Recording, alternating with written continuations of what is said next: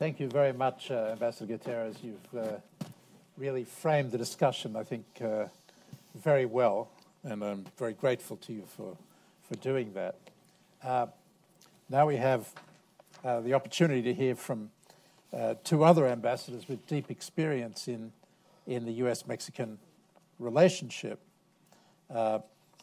Arturo Sarukhan uh, is currently an international strategic advisor and consultant based here in Washington uh, and a non resident senior fellow at Brookings uh, and a distinguished visiting professor at the Annenberg School of Public Diplomacy at USC.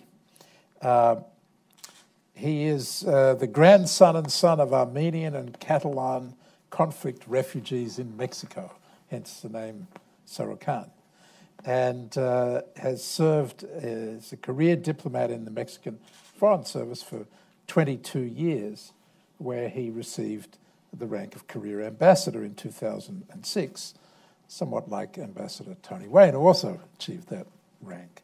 Uh, Arturo has held numerous positions in the uh, foreign ministry in Mexico, Deputy Assistant Secretary for Inter American Affairs. Uh, he was uh, responsible for Latin American regional coordination mechanisms. In 1993, he was posted here to the embassy uh, in Washington at the onset of the negotiations with Congress over uh, the NAFTA agreement. Uh, he served first as chief of staff to the ambassador, uh, and in 2000, uh, he then went back to Mexico where he served as the foreign secretary chief of policy planning in the foreign ministry. Uh, he joined the campaign of President elect Calderon, and after his uh, victory uh, in February 2007, he was appointed ambassador of Mexico in the United States, where he served for six years until 2013. Uh, he was I like this part. The youngest and longest serving Mexican ambassador I in think, Washington. I think Geronimo might be the youngest now. I think. He's younger? I think. You need to update your resume. I think. Except for Geronimo. uh, Tony Wayne, an old friend and colleague from the State Department, uh, has been a U.S. and American diplomat for uh, since 1975 to 2000. 2015. As I said, he, he uh, attained the highest rank of career ambassador in the US Foreign Service in 2010. He's currently a public policy fellow at the Woodrow Wilson International Center for Scholars and a senior non resident advisor at the Atlantic Council and at the Center for Security and International Studies. The only think tank that's missing from here, Tony, is uh, Brookings. But. Well, happy to work on it. uh, Tony uh, served as U.S. ambassador to Mexico from 2011 to 2015. Um, he was also deputy U.S. ambassador in Kabul and U.S. ambassador in Argentina. Uh, he worked for three secretaries of state as assistant secretary of state for economic and business affairs, which is where I came across him. Uh, so we have two uh, ambassadors who have deep experience in the relationship. And uh, I think um, what I'd like to do, since we don't have a lot of time for the discussion, is ask you first of all, from your perspectives, how serious is this crisis in the relationship? Want to start us off, Arturo? Yeah, it's a, it's a pleasure to, to be with you today and to join my good friend and uh, counterpart Tony. Um, we were discussing in the room before we moved in here that um, many times people tend to forget that ambassador is uh, successful also in terms of how he or she can work with counterparts in the other capital city and the way that Tony and I work together, um, sometimes playing the role of good cop and bad cop with our own respective bureaucracies. Uh, was a very important component of, of the, I think, the success that, that we had during our tenure. So it's great to be with you. And Geronimo, welcome. Um, I couldn't think of someone better prepared to undertake the challenge that you will be facing in the coming uh, months and weeks uh, in this city. Look, um, and I, I, I, wrote a pretty straightforward op-ed in the Washington Post when um, uh, the secretaries of uh, foreign affairs and um, and the economy were ambushed by the tirade of tweets and statements by uh, President Trump, which led to the cancellation of President Peña Nieto's trip to D.C. Uh, at the onset of the administration. Um, there hasn't been a point as dire as this one in the bilateral relationship since the 1980s. And in the 1980s, there were two factors that explain the nature of what has still and still is, despite this critical moment, is the nadir of the bilateral relationship between Mexico and the United States. One was an issue which was completely uh, unrelated to the bilateral relationship per se. It was Central America. Uh, what happened was that the top Mexican foreign policy priority at the time, Central America, collided with one of the top foreign, foreign policy priorities of the US administration, the Reagan administration, Central America. And that really contaminated the way Mexico and the United States understood one another. And in the midst of this, you had the abduction and assassination of DEA agent Enrique Camarena in Mexico, and the relationship nosedived. Um, we hadn't seen something as bad as that in these past 20 years until these last months, and in particular, uh, this first month of the administration.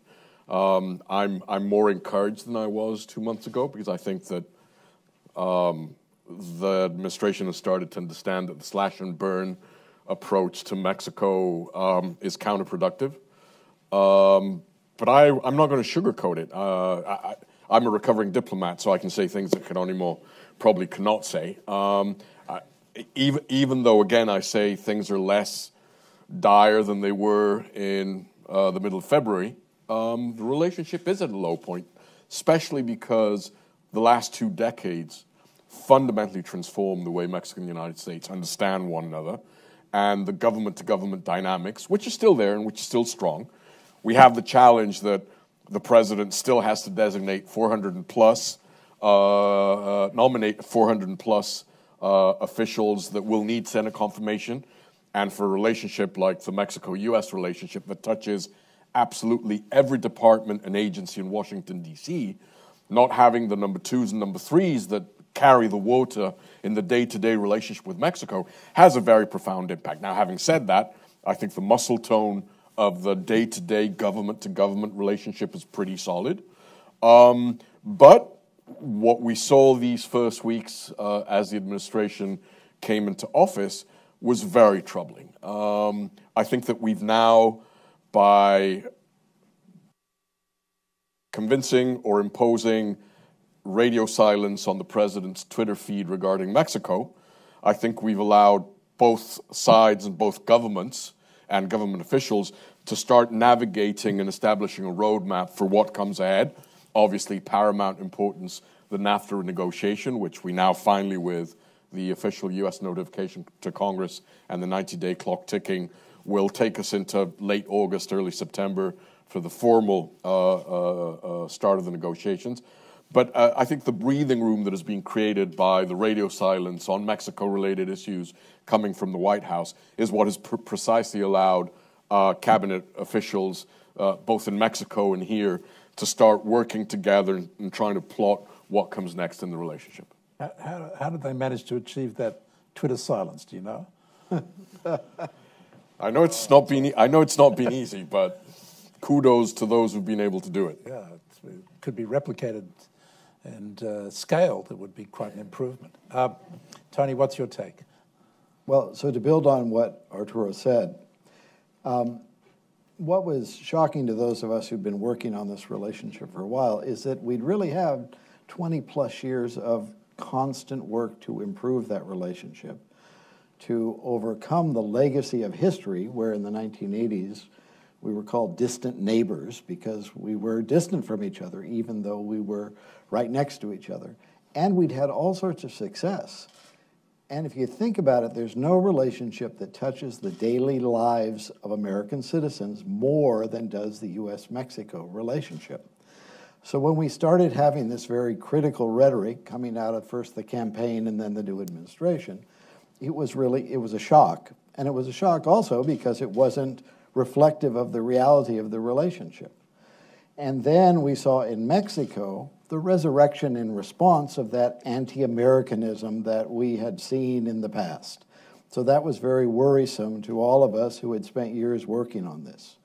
As Arturo said, very fortunately, people started working, talking to each other, really reflecting on the facts. That facts that we trade a million dollars a minute, that there are a million border crossings each day without any problems, legal border crossings, so many other things that tie people together. And those who benefit from this relationship started being willing to speak out. And in this sense, I praise American farmers. They, were, they and their groups really started saying, wait, what are we doing here? This is our third largest market in the world. We need this market. Why are you endangering it? Um, the other day I ran across when, they, when NAFTA was signed, one of the figures the Heritage Foundation came up with was 700,000 American jobs in the relationship with Mexico. Well, it's now 4.9 million American jobs dependent on directly that commercial, dependent. directly and indirectly, but in that, in that trade, investment, commerce nexus. That is not we've, a, fa- a factor in which we've lost a lot of jobs in net for the economy. And you'll hear a little bit later, I know Gary Hufbauer and others are going to talk about that. The economic studies have just shown that NAFTA has not been the negative uh, agreement that it's been portrayed as.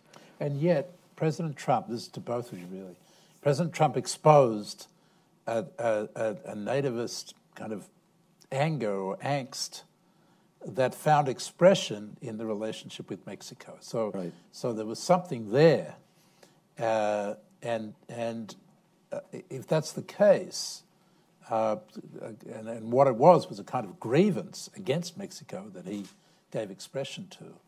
How real is that, and how how can it be dealt with? Well, I do think there is certainly in a certain segment of the American population there is a feeling of grievance, and a number of them have blamed NAFTA for this. I don't think correctly, because as studies have shown, it's really been automation, new technology, and some trade, but not really within NAFTA, trade with China and elsewhere, that have contributed to job losses. And there were not many alternatives for a certain segment of these people. So the, the solution, however, is to try and help this segment of people understand the reality, and then if we can make NAFTA better, as Ambassador Gutierrez was saying, let's let's do that. I I, I, I would disagree slightly. I, I don't think it's it's a grievance with Mexico. I think it's a grievance with how increasingly uh, working uh, middle classes in America feel that trade and the changing demographics of towns and cities and, and, and, and the societies in which they lived in are tapping into certain triggers of fear and uncertainty. And the fact that Mexico is part of NAFTA and that we have about 5 million undocumented of the 11 million undocumented uh, uh, uh, people in the United States, 5 million of those are of Mexico, that sort of provides an easy platform to scapegoat Mexico and use Mexico as, a, as an electoral piñata, which is what Donald Trump did, I think, uh, in, in a deplorable and demagogic way during the, the, the campaign. But, but I think the, the, the challenge is one, something that successive Mexican American and Canadian governments have done very poorly which is to understand that there will be losers as a, as a result of, of free trade. And how do you put in place domestic mechanisms to retrain, to, to create safety networks for displaced labor? And none of the three countries have done this successfully over the 20 plus years of NAFTA.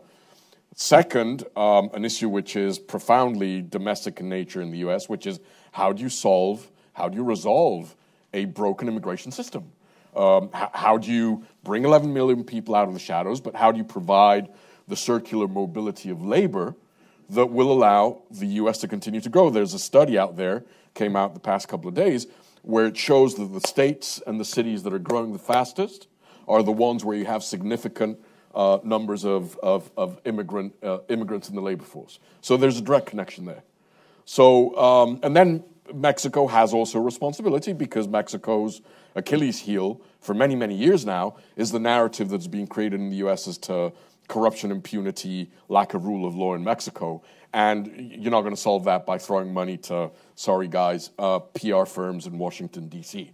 This is something that is going to have to be solved by sustained efforts by successive Mexican governments to take on the issue of, of lack of rule of law, impunity, and corruption, which have sort of fed into this narrative that has been built on NAFTA and on 5 million undocumented uh, uh, Mexican migrants living in the U.S. Let's, let's just focus on that for a minute, because I'd like to get to the kind of, get your sense of the Mexican political constraints here.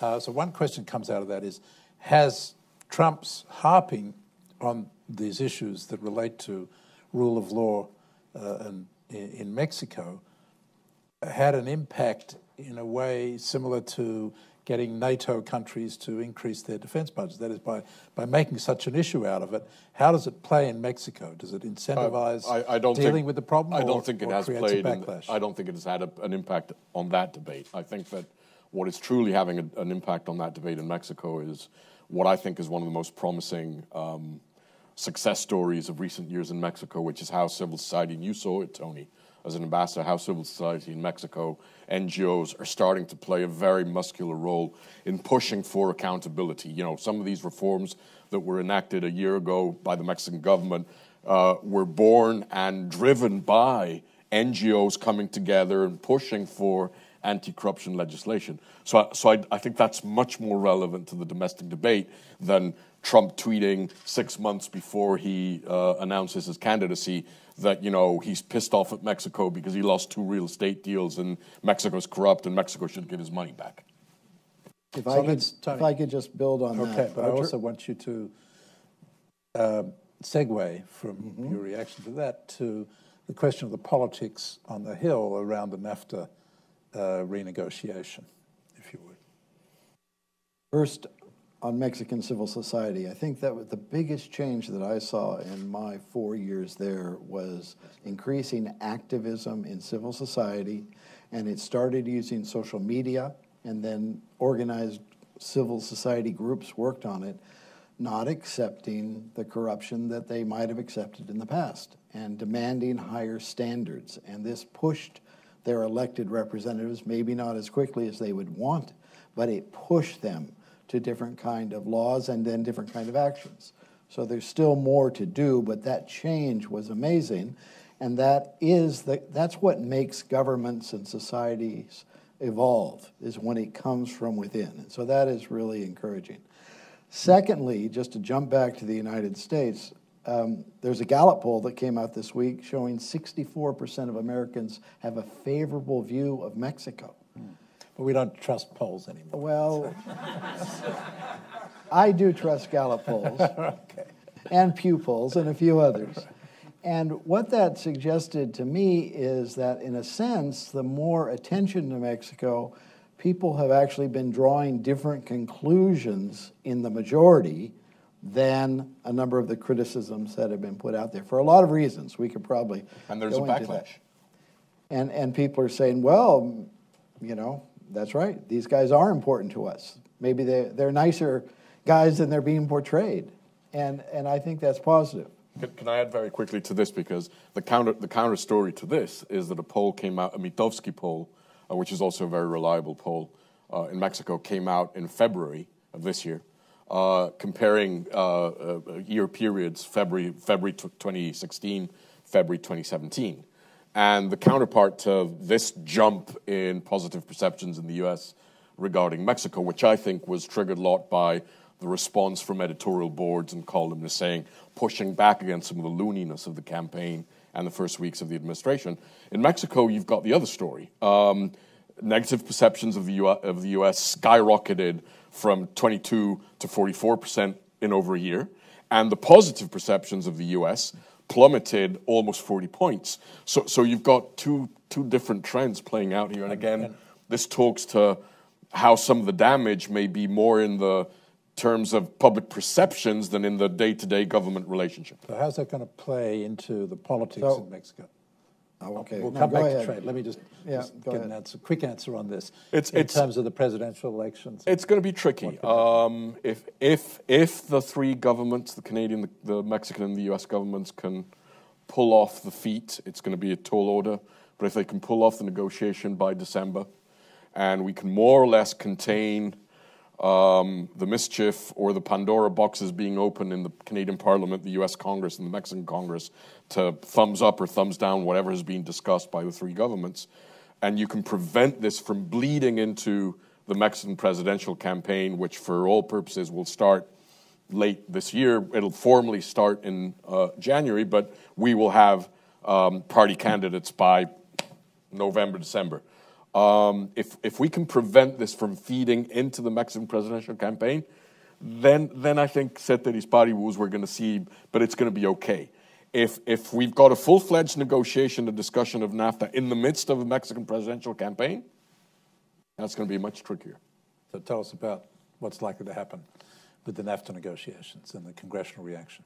Well, I think the good thing is is that in recent months you really have had those people who have benefited from NAFTA have the opportunity to go talk to their congressman to explain what those benefits are, and they've become increasingly bold in being willing to say, "Yeah, there are these good things that happen."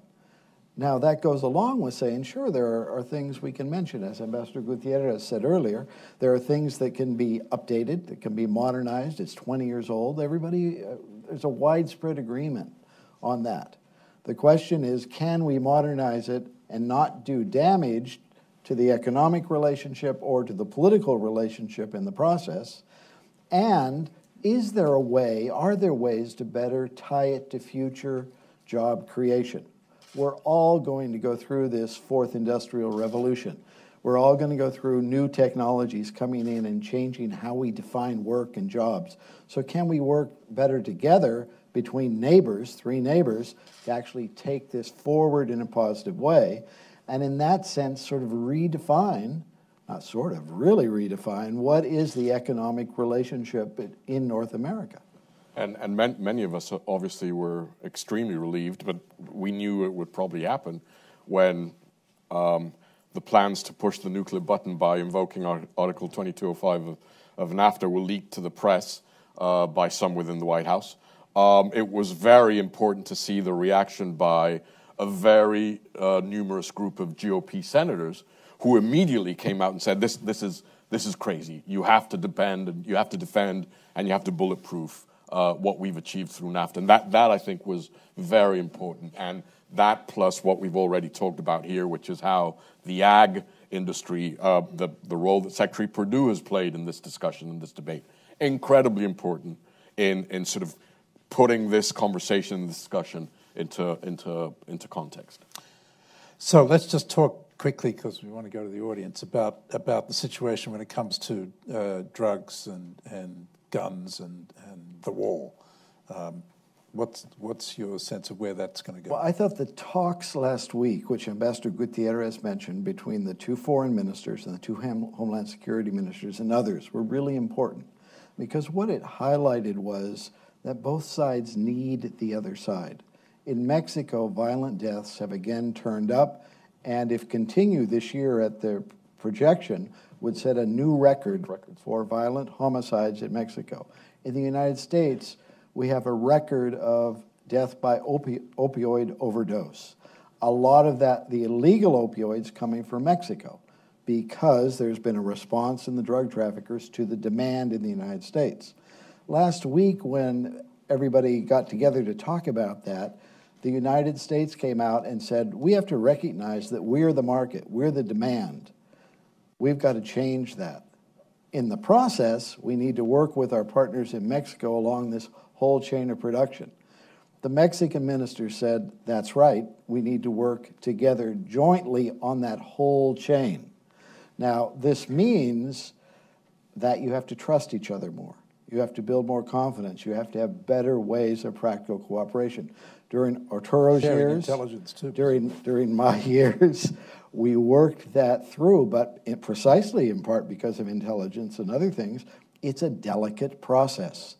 It's going to take trust between the two governments to move to those higher levels of cooperation against really clever but really bad opponents. And it's hard to And build, it- and it's very easy to demolish. And do you think it's possible to build trust in this environment, Arturo? I think it is. Um, the problem again is whether the larger context uh, of how uh, uh, Mexico is talked about uh, up here in Washington uh, provides that wiggle room. Because one of the things that we, we've sort of talked about uh, um, in different ways, but um, I'll, I'll call it out as it is, is one of the things that's going to matter is that as this current Mexican government moves into the sunset phase of the administration, uh, as soon as we start heading into the um, political electoral season, the political maneuver- maneuverability and, and, and political wiggle room of the president is going to diminish month by month. So things that could have been doable a year ago or acceptable will be less and less the closer we get to the elections. And the rhetoric has also damaged this. And let me give you an example. Um, remember when uh, Homeland Security came out with uh, some of these new directives where there was the mention of uh, non Mexicans being deported to Mexico across the Mexican US border? Um, that, you know, you can imagine the uproar that that has created in Mexico uh, and the response, which was logical, which is that's not going to happen. But that took me back to um, the last time that there was a Senate bill on immigration reform. And for those of you who are steeped in the dynamics of comprehensive immigration reform, back in when the Gang of Eight put its bill together, which was the last successful bill that actually got approved in the Senate, there was something called the touchback clause. The idea was that to be able to neutralize the opposition of the hard right to legalization, amnesty, pathway to citizenship, whatever you wanted to call it, you had to do something in providing the 11 million people from all over the world with some sort of status. And so the thinking initially was, well, they have to go back to their countries and then they have to come back with some form of legal document back into the US. Very quickly, everyone, everyone understood, you know, if they're Mexicans, it's easy because you're right across the border. But if you're a Filipino, Bangladeshi, a Chinese, or an Irishman, um, it gets much more complicated going back and then coming back into the US.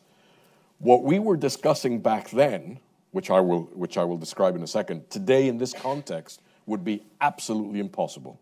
What we were discussing back then is Mexico is willing to take those 11 million undocumented immigrants from all over the world across the border into Mexico, have over them the world. from all over the world, have them processed in one of the Mexican in one of the US consulates across the border in Mexico and then have them return in 48 36 hours to US soil so they can come back in with a legal status. That conversation which we were having with Capitol Hill today We're going to go to your questions. Uh, because I'm told that we have to wrap it up because of the schedules of some of the other speakers, I'm just going to take three questions together and get you both to uh, respond to them. Yes, the lady here in green. Please wait for the microphone and please identify yourself and please make sure there's a question mark at the end of your sentence. Hi, my name is Contessa Bourbon from the New York Times. I'd, I'd, I'd like to ask um, the ambassadors if you could change NAFTA, what would it be, particularly on uh, intellectual property and on access to market? I I just have to make a correction here. I don't think the Contessa is from the New York Times. We've had a lot of protest about that. Please go ahead. Uh, good afternoon, gentlemen. Thank you so much for your discussion. My name is William Preston. I'm with the Rosa and Raymond Parks Institute for Self Development. I just wanted to find out your ideas or concepts on sister city programs because there's so many. I'm from California originally, but I've seen so many great successes from the ones I built in Africa. So I just wanted to see if those are soft ways of getting meaningful dialogue and engagement. But without engagement, we got to win the hearts of people on both sides of the border. Thank you, and God bless you all. Let's take one from up the back. No, over here. Gentleman with the glasses. Uh, good afternoon. My name is Jose Villalobos. I'm a student at Georgetown University. I have a question specifically for Ambassador Sarukhan. Uh, you mentioned the coming election in 2018. There is one specific potential candidate who is highly populationist, highly isolationist. He's already lost two elections. One of them was close enough for it to have been statistical error. So um, my question for you is: if if these negotiations are not finished by the time elections roll around and people start uh, campaigning, what can the Mexican people do to avoid the election of a highly isolationist president? And if we are not able to, what does that mean for the future of the bilateral relation? Okay. Well, I'll let you think about that, Arturo. I'll start off. Go ahead, Tony. I'll, I'll, when, when you talk about the first two, I'll jump in and then I'll answer the last one. Okay, for sure. So on, on NAFTA, um, I mean, for me, the big new areas should be everything to do with e-commerce, with data flows, um, and services, I think, are another big area that we have not paid enough attention to. Um, and is, is all these areas are future growth. That's what is encompassed there. And IPR, intellectual property rights, I think relate to that, to those areas also. And so there's a lot that can benefit all the economies across North America, and we can set global standards in a very positive way. I, I am a big believer in setting norms that others can follow, and we can do that, I think, as part of our modernization of this agreement. On the sister cities and exchanges, I think those are so important. Um, one of the things that I worked on, and I know Arturo worked on, and we continue to work on, are student exchanges, academic exchanges, research exchanges. You can avoid, help avoid so much of this prejudicial rhetoric if people actually know each other in all these kind of interactions they're just going to stand up and say, that's not the Mexico or that's not the United States that I know. I've been there, I've lived there, I know these people. So we have to find ways to keep growing these kind of interactions. That is really important.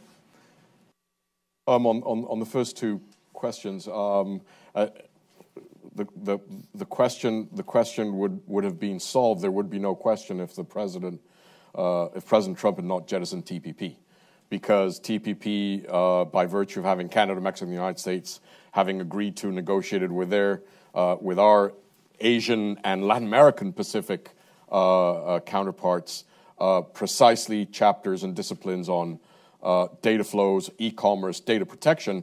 Um, we would have ha- had a painless upgrade of NAFTA, which have precluded all of the challenges that we're now facing down the road with a formal uh, renegotiation and redo. Let me, let me, just interrupt you on that because I heard Secretary of Commerce Wilbur Ross say that, that the administration's going in position is what you accepted on TPP. That, that's fantastic. But do you imagine if we would have avoided all of this process if we had TPP? Then redoing NAFTA would be um, superfluous because TPP would have modernized the edifice of NAFTA and created a 21st century rules based international trading system, which is what we're going to end up doing regardless, but with a process that is much more complex and much more vulnerable to congressional um, um, uh, pressures. pressures. Um, on the issue of the cities. and just add in some areas like rules of origin, yeah. actually NAFTA has a higher yeah. than TPP standard yep. than yep. TPP. Yeah. Yep. On the issue of the cities, I, I couldn't agree with you more. Um, in fact, if you look at um, if you look at a map of uh, the cities and states that have their highest trading partners abroad, Mexico, uh, it's very clear that it's between cities and governors on both sides of the border that we need to build uh, a new sense of co-stakeholdership. I've always believed that in this relationship, yes, I, I, was ambassador in this city for six years, but if you stay in this city, in the U.S.-Mexico bilateral relationship at least, um, you're shooting yourself in the foot. The role, in part because of the connections that already exist between cities and states uh, across the border, but more importantly, at a time where governments and politics and political parties are being questioned and challenged here in Europe and in South and Latin America, um, it is at the city level where public policy is being reinvented. That's where the conveyor belt between citizens and public policy is real. And if we can create greater connectivity between cities and mayors I think that's the wave of the future, not only for the international uh, system of the 21st century, but particularly in this uh, uh, bilateral relationship. On, I, I, don't know what you tell Mexicans not to vote for López Obrador. Um, I, I'm, I'm, a, I'm not affiliated to any political party in Mexico, but one of the reasons why, being consul general in New York City in 2006, I decided to resign and ask for leave of absence from the Foreign Service was because, and, and, join, and accept Felipe Calderon's invitation to join him as his foreign policy advisor and international spokesperson, was because I was terrified of how López Obrador understands Mexico's role in the international arena and how he understands a bilateral relationship with the United States. And I don't think that the 12 years that have gone by have changed that dramatically. You just have to look at his positions on Venezuela today to understand what a risk it is uh, for someone that understands Mexico uh, uh, in light of the world of the 19th century uh, uh, and the impact that could have on the US Mexico bilateral relationship. So I really hope that the ne- negotiation can be wrapped up before the campaign kicks off in Mexico, because then it becomes really complex. Okay, unfortunately, that's all the time we have, but I have a closeout question for the two ambassadors. Who's going to pay for the wall? Mexi- Me- Mexico and the US have done a lot of great stuff together. We will continue to do a great lot of stuff together. The one thing that we're not going to do together is build a wall. That's good. You want to add to that? We're going to make the border more efficient and more secure together. Together. Ladies and gentlemen, please join me in thanking uh, both ambassadors.